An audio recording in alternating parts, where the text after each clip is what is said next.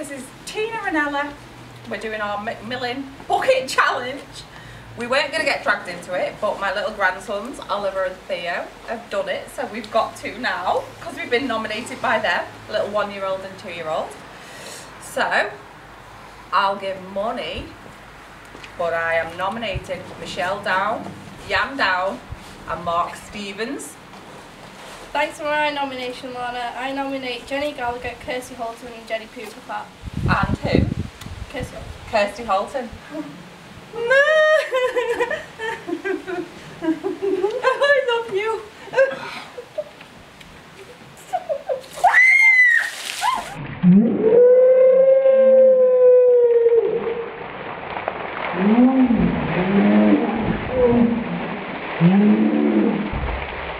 Yeah.